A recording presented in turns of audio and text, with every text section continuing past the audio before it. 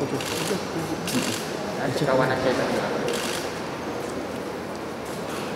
first one was Datuk Sri Najib's application to intervene.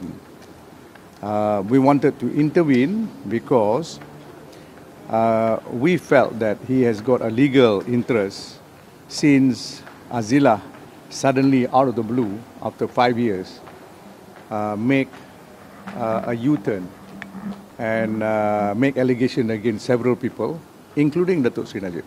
Several people mean three people, uh, three persons in total.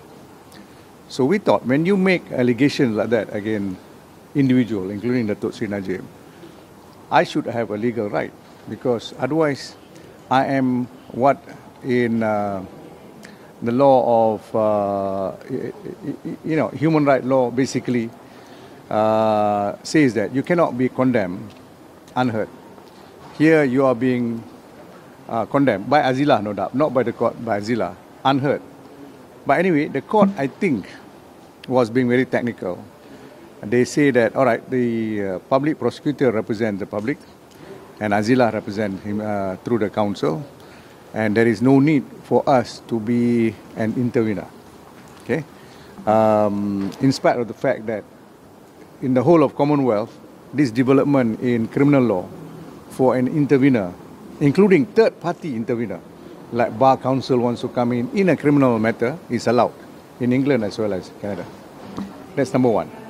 But they allowed us to remain as watching brief. That means we watch brief on behalf of Datuk Sri Najib so that Datuk Sri Najib can be, uh, can, can, can be informed what happened. Uh, then the second one was on the issue of the uh, what do you call it? The review itself.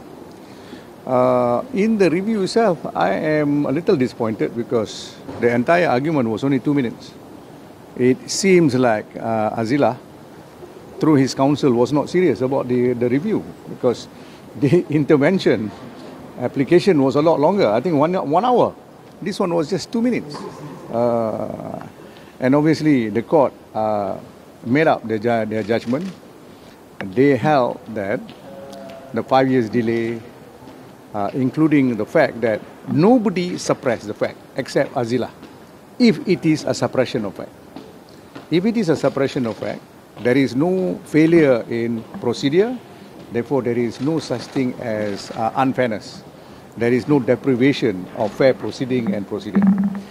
So they said he himself, he did not inform investigators. He himself is an investigator because he was in CID for a long time, six years. Um, he did not inform the court in the first instance, uh, Court of Appeal, as well as the federal court. And he maintained the same thing in the application for pardon. These exact facts. This is extra, which I'm telling you. So the court, in in uh, by way of implication, disbelieve him, disbelieve Azilah uh, on the new allegation that he made. Uh, lastly, the court said, when you made an application to review, it is not the same as an application to adduce further evidence. In the review, you cannot adduce further evidence. In the review, is a challenge on procedural fairness, not on the facts. And they say he didn't even come within that ambit, and therefore they dismiss it. That's basically it. So it- seems uh, the judge has uh, counseled uh, Sri Najib's uh, application. Will this result uh, influence uh, the case's result? Uh, what will happen uh, later on? No, nothing happened. The, the case is finished. Finish. The case has come to an end. That's, Ah. that's the end. As far as Azilah is concerned, he has been sentenced uh, to death, and it is up to the authorities to carry it out or otherwise. Okay? Because, yeah. What, what about the SD? Can it be considered as struck out or, or Well, they disbelieve. it be They disbelieve the SD. So what will happen is the SD now is in the court. We are considering to apply to expunge or not. We are considering, Considering. because whether it is uh, worthwhile doing it or not. But the court has clearly, in rejecting, it's not only by a strong implication, but by very express statement that they sarcastically said You yourself suppressed this evidence from your lawyers, from the courts, three instances, from the police, and from the pardon board, if I may add that. So, uh, why are you blaming anybody else? Okay, which is basically they don't believe him. So does that mean that Dr. Sri Najib will not be dragged into this uh, case Datuk Seri anymore? Najib is, has got no, no effect on Datuk Seri Najib because uh, the cases that went in court, went through the police, has not implicated Datuk Seri Najib or even DSP Musa or Razak Baginda has not implicated them at all. It is only these two, of, uh, two officers who did it. So Okay. Are you satisfied with uh, today's uh, result? I'm satisfied with the with the main judgment. Uh, I am overall I'm satisfied.